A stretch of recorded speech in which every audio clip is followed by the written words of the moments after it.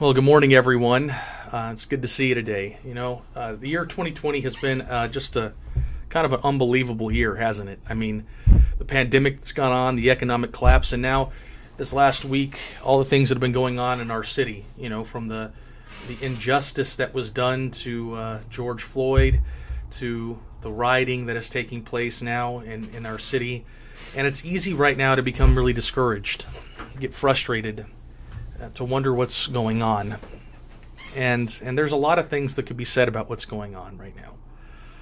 There's a lot of things that could be said about the pandemic, about the economic situation, about the injustices that that that some communities in our nation face, about how we need to try to see things through the eyes of other people. I think all those things are are very important and, and I could say a lot of things about every single one of those items I just mentioned but but a lot of people have already spoken to them, and I don't know if I can really add much to what has been said.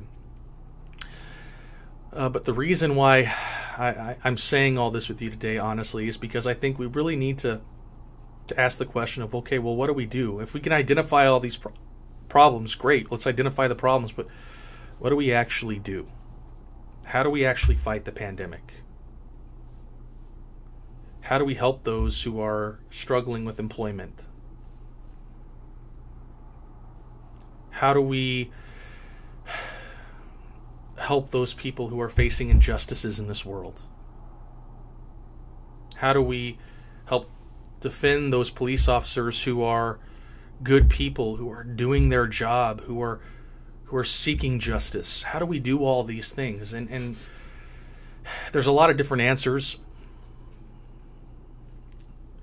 But I think sometimes as as a church we forget the most important answer. And yes, I believe it is the most important answer.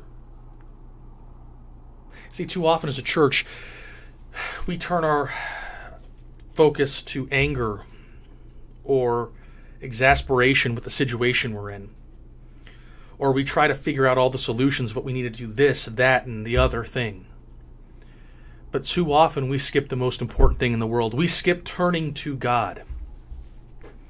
This is a time in the life of the church where we need to be focusing on on turning back to God, coming before Him in prayer.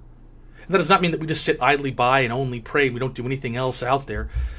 But too often, we get so active in trying to change the world that we forget to turn to the one that can bring true and lasting change. We forget to to come before God in prayer.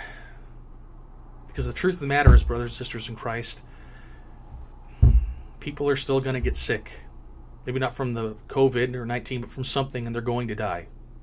The truth of the matter is, people are going to struggle with economic hardships no matter all the solutions we go through. The truth of the matter is, no matter how much we seek to make everything just and equitable in this world, because we live in a broken world, there's going to be times where there is injustice and inequity that comes out because we live in a broken world, we are going to be have times where where somebody who doesn't represent you you get lumped in with and blamed for all the ills of the world. None of those things should happen. None of those things are good. None of those things are right, but it's the reality of living in a broken world. And when we just turn to ourselves and try to solve all the problems by ourselves, those things won't go away. We must turn to Christ because He is the one who could bring healing. He is the one who will supply our daily bread. He is the one who can bring justice to an unjust world. He is the one who can bring healing. So today, we need to turn to Christ. Let's put this way in the book of Second Chronicles. This is after after Solomon has dedicated the temple of God. God tells the people, you know what? You're going to fall away. You're going to mess up. And things bad things are going to happen because of that sin.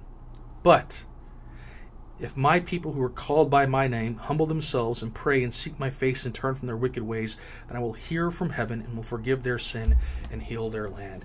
God hears his people. God listens to, uh, to his people. He cares for them. He loves them. And so today, my encouragement for you is this let's pray. Let's pray for healing for our city. Let's pray for healing uh, between uh, for, for those who have been treated unjustly. Let's pray for healing for those who are being called guilty and haven't done anything wrong. Let's pray for, for healing of our economic situation, for the, the virus that is going on. Let's pray for healing. Turn to God. He's the one who can bring true and lasting healing. I, am sorry, I know this may be a little bit rambling. Uh, I, I hope I did not say anything to upset or offend anyone. That was not my goal today. Uh, but I think it is important for us to, to remember that, that before anything else and above everything else, we need to turn to God. Please pray with me. Heavenly Father, we thank you so much for your love to us. We thank you for being with us all the time. And we pray that as your people, we would always turn to you that you would guide and direct us in how to care for one another, care for those who, sit, who are sick, care for those who are struggling, care for those who, who feel like they're being treated unjustly. Help us to see each other through one another's eyes, and, and most importantly, through your eyes, the eyes of grace and mercy. Bring healing to this land, bring healing to your people. We pray this in the name of Jesus. Amen. God bless you.